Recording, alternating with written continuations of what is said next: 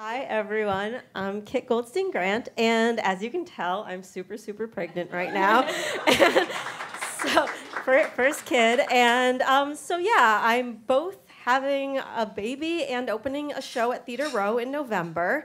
So, I'm about to deal with all of these things that we're talking about. And hearing Pamela is very inspirational. And I'm going to sing the lullaby that Lauren wrote in about a month. So, so yeah. Um, so to tell you a little bit about this show, that um, the song that you're going to hear, it's from a musical called "Where Angels Fear to Tread," um, which is based on a novel by E.M. Forster. It's uh, set around 1908, um, and it's about this upper class British family who travels to Italy and gets in this major clash of cultures with the locals there.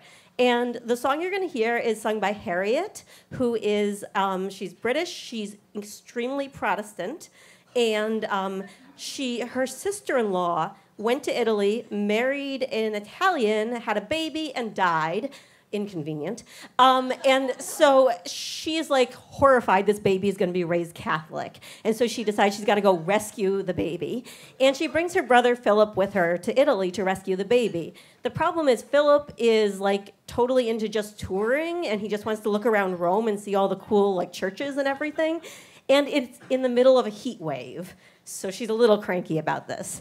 Um, so to bring to the stage, could we have Pamela and Tyrick are going to sing the song? And I'm so excited. Thank you.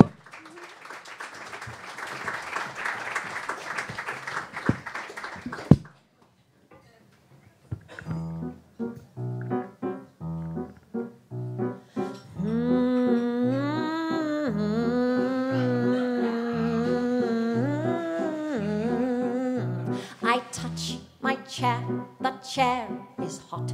I brush my hair, my hair is hot. The close, disgusting air is hot. It's the filthiest place I've ever been. Harriet, quiet! The sweet Italian skies are hot. My nails are hot. My eyes are hot. I'm swatting flies, and the flies are hot. It's the filthiest place I've ever been but still you call this heavenly.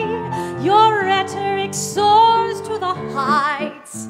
I'm close to a coma from Roma's aroma, but you want to take in the sight. Yes! Your earthly paradise is hot.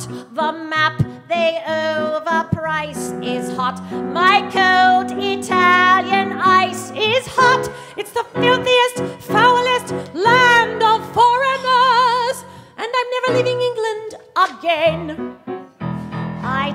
Harriet, my chair, the chair is reason. I brush my hair, like my hair is hot. That close, and I know it, so why don't you stow it? You're heating the air with your breath To smirk while I complain is sweet. To mock my melting brains a treat, and a whiff of that woman there makes it complete.